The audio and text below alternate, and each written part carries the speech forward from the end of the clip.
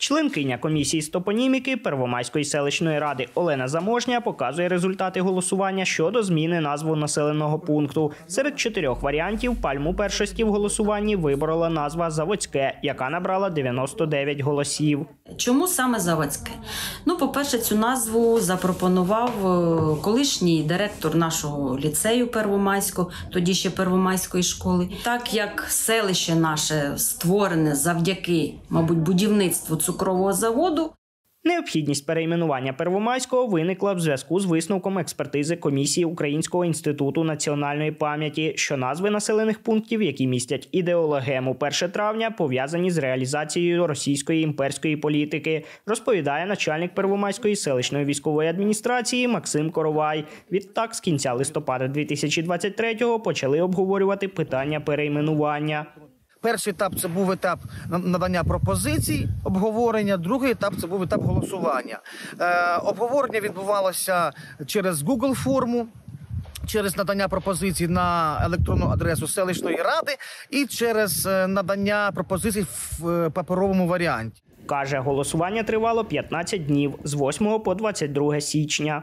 Е, Проголосувало і в Google формі, і в паперовій формі близько 138 людей. Етап голосування за зміну селища Первомайське е, мали тільки жителі Первомайського. Пропозиції могли подавати вся громада. Це було там десь близько 200 Ми розпитали жителів Первомайського, що вони думають про зміну назви селища. Я хотіла би, щоб так би залишили цю назву Первомайське. Але ж всі голосують, і я дала голос. Віддала голос за заводське. Навіщо перейменовувати?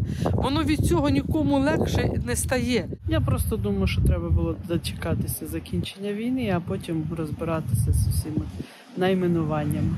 З населених пунктів громади перейменовувати планують тільки Первомайське. На місцевому бюджеті це серйозно не відобразиться, розповідає Коровай. Перейменування селища міського типу Первомайське в нову назву під собою і за собою не потягне ніяких великих фінансових витрат, окрім законодавчо обґрунтованого адміністративного збору, який е, коливається е, від в межах 200 гривень. Максим Коровай каже, також в громаді будуть змінені назви 27 вулиць. Особливих фінансових затрат для їх мешканців це також не понесе.